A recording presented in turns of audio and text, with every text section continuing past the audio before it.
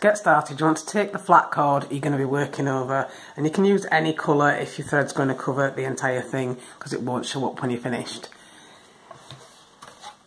And next you want to take your board and then you can clip the top of your flat cord to the top of your board and then you can take another clip and then clip the cord at the bottom and next you want to take the thread that you're going to be using.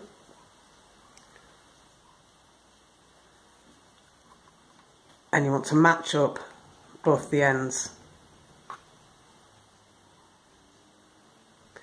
And once you've got the ends matched you just want to run it through your fingers until you find the centre.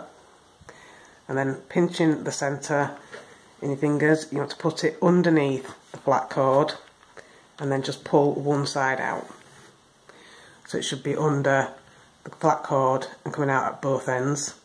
And you want to keep your finger there until you've done your first knot so you hold it in place.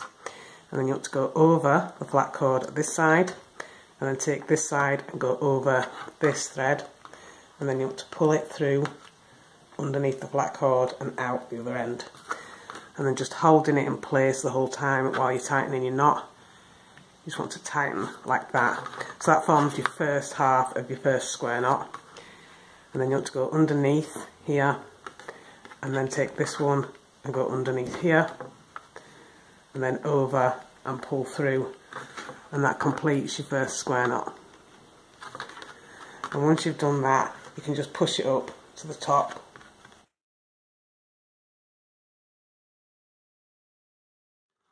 So you should have something that looks like this. So once you've done that, you don't have to hold it in place anymore because it's knotted into place and you can just keep working your square knots in the same way.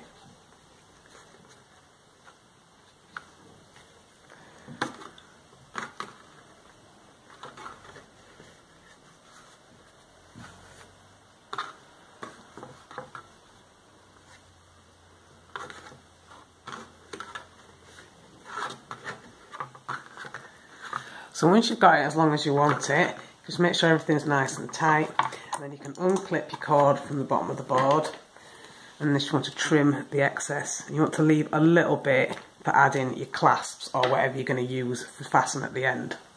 So once you've finished you can add your fastenings. So for me I'm just going to use crimp beads with a jump ring attached. So I want to take the bracelet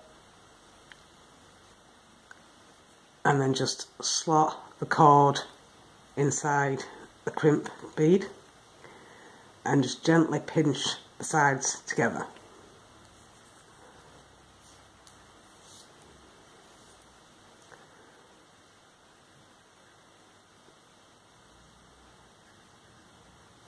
So once that's in place, you can use a pair of pliers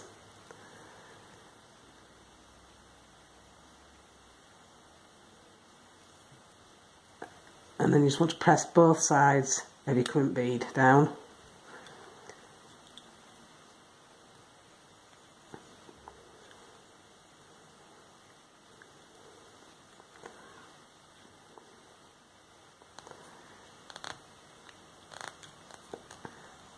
And once it's secure just give a little bit of a press and then it should be firmly attached. Remember you want to put a clasp on one end and then once that's done you can fasten it like that